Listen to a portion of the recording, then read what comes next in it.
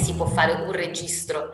delle persone che sono affette da, da, disturbi mentali. È un po' difficile per questo tipo di patologie perché anche sono legate molto spesso allo stigma, cioè è difficile che le persone siano portate a far emergere diciamo, questa loro condizione di disagio e quindi uh, siano portate a essere riconosciute.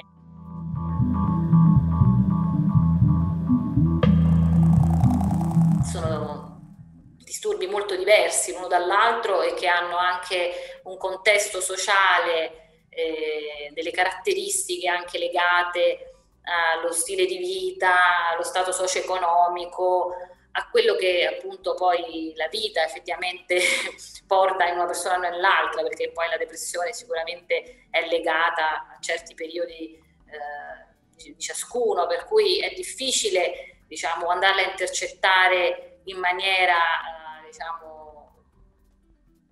in, maniera, una maniera più facile come può essere per altre patologie, penso ad esempio a patologie organiche come il diabete, in cui tu hai un codice di esenzione, le persone che hanno di- diabete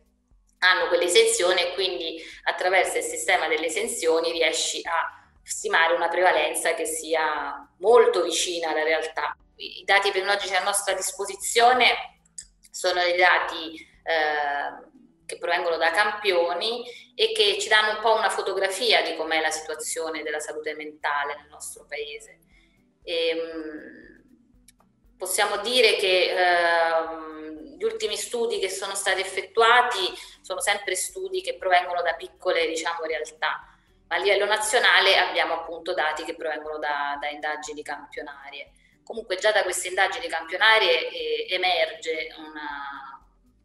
una situazione che è già ben nota, ovvero che alcune patologie sono prettamente a carico del sesso femminile e quindi penso alla depressione, ai disturbi d'ansia, alle fobie, agli attacchi di panico, ai disturbi, ai disturbi del, diciamo, legati all'alimentazione. Si cerca comunque in questo modo di avere una fotografia un po' più realistica eh, della popolazione, andando però a selezionare persone che hanno avuto accesso ai servizi sanitari o persone che sono in trattamento.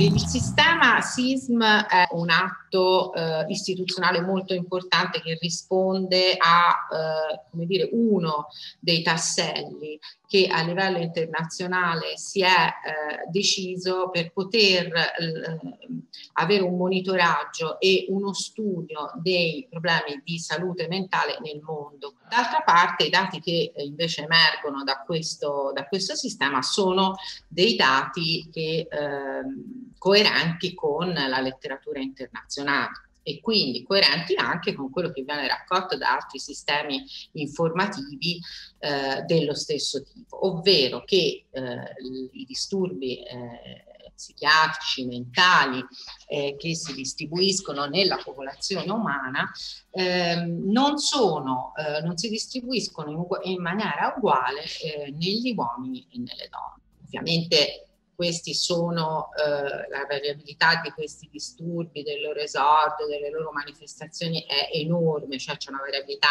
interindividuale enorme,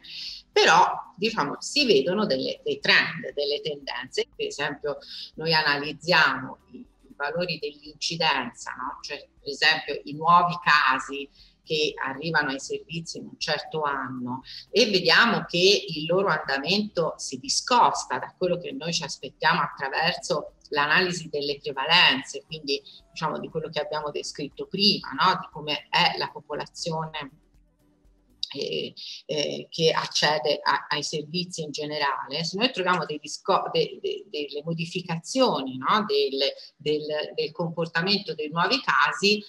ci dobbiamo porre delle domande. Cosa è successo? È cambiato qualcosa? Eh, è cambiato qualcosa in maniera costante? Dobbiamo andare a studiare quindi gli eventi che possono coinvolgere sia i contesti di vita delle persone, possono coinvolgere il funzionamento dei servizi, eccetera, eccetera. Chiaro che uno strumento del genere non riesce a dare risposte di tipo eziologico, no? di origine delle malattie, ma può dare dei suggerimenti quindi può dare delle indicazioni per, per l'andamento epidemiologico delle patologie nella popolazione per costruire dei, eh, degli studi sperimentali per costruire degli studi sperimentali che possano rispondere eh, alle domande.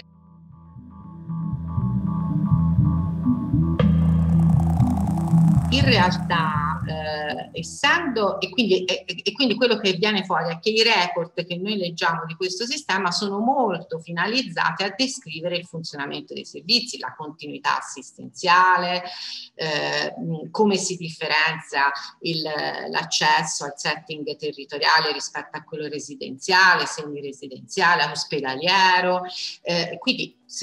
ci sono que- rispetto ovviamente ai disturbi, cioè alle diverse diagnosi. Però d'altra parte dentro il sistema esiste un nucleo di dati che riguarda l'individuo e quindi che contestualizza il disturbo rispetto alla persona, quindi alla sua età, al suo sesso, a con chi vive, a che, tipo, a che livello di educazione ha. E quindi in realtà eh, attraverso questo sistema si potrebbe affrontare, eh, si potrebbero affrontare domande di ricerca però è chiaro che la sensibilità di chi compila la scheda di debito eh, informativo, nonostante comprenda eh, anche queste variabili individuali di cui ho parlato, spesso è spostata a riempire con maggiore compliance, compliance la parte che riguarda il funzionamento del servizio, eh, piuttosto che quella che riguarda per esempio il livello di istruzione del soggetto di cui stiamo parlando. Allora questo crea una certa certa, eh, una certa come si può dire, gap eh, dei dati da questo punto di vista che può rendere difficile a, eh, utilizzare questi dati per rispondere per esempio ai determinanti di salute mentale e sociali che sono uno degli argomenti, diciamo, chiave eh, con cui vorremmo interrogare sistemi come questo tipo, perché noi sappiamo che l'interazione tra salute mentale e eh, condizione eh, sociale eh, è un'interazione eh, molto stretta e quindi avere uno strumento per analizzarla sarebbe molto importante.